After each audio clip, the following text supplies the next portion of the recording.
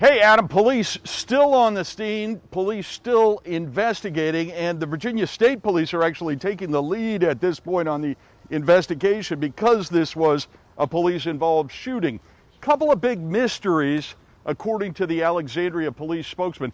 Who else might have been involved, and where is the victim of this alleged armed robbery? Now, breaking just this afternoon, a person of interest police just put out they're looking for 26 year old Mitchell David Thompson of Alexandria. White guy, brown eyes and hair, six feet eight inches tall.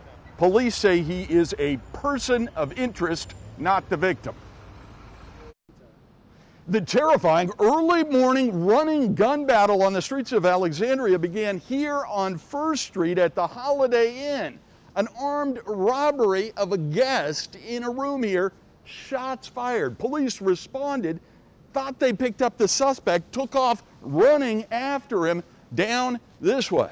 Police say that they caught up with the suspect here at 2nd and Mount Royal. There was an exchange of gunfire, shooting back and forth. One officer was hit in the lower body.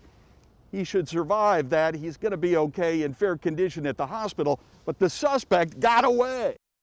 Police say that a canine was able to track the suspect down here to the vicinity of Montgomery and Fairfax Streets. You can see the officers are still here. There was another exchange of gunfire down here.